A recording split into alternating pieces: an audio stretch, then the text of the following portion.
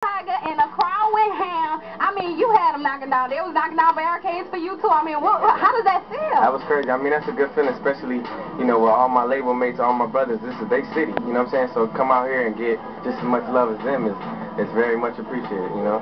So, so Wayne is back. I know y'all happy to have him back. What can we expect next from Young Money? Probably another Young Money album. Um, I know Wayne is working on Carter 4. I'm working on my new album, Careless World. Pink Friday just dropped, sold out everywhere. I mean, we we we um we moving right now. This is definitely Young Money time, Ramp. The man got all kind of stuff going on right now. His mixtape game is impeccable. If you think it's a game, follow this man on Twitter. Matter of fact, give me your Twitter.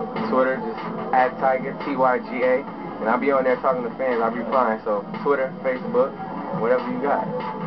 Man, you already know. It was it's going down. It's it's look, the boy just had a concert out here like a couple weeks ago. He came through and rocked, just rocked all the way through. Look, I just went and checked him out. I ain't even say nothing. I ain't even holler at him. I just hit him on the Twitter and said you was popping.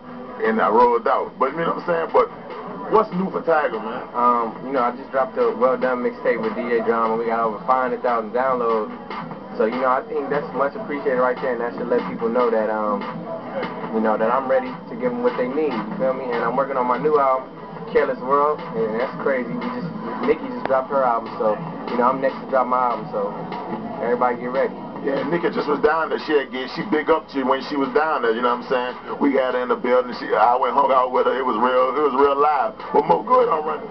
I mean, what features, what producers, who, who who can we expect on this album? Give us a little bit more about this album. Um, you know, I got um, actually Pharrell went in with me and we worked together on the album on uh, on like most of it. So, you know, you're gonna hear a lot of different sound. Um, I got um, Snoop and Game actually on my next single.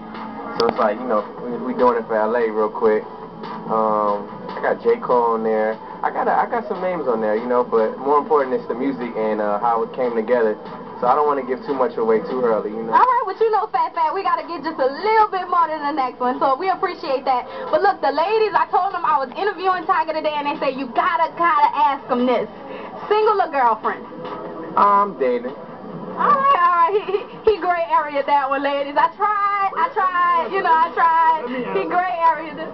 I'm single. If y'all asking, you already know. Follow me on Twitter at Big Ramp. That's what it is. Pow. You And young truth. I bump it.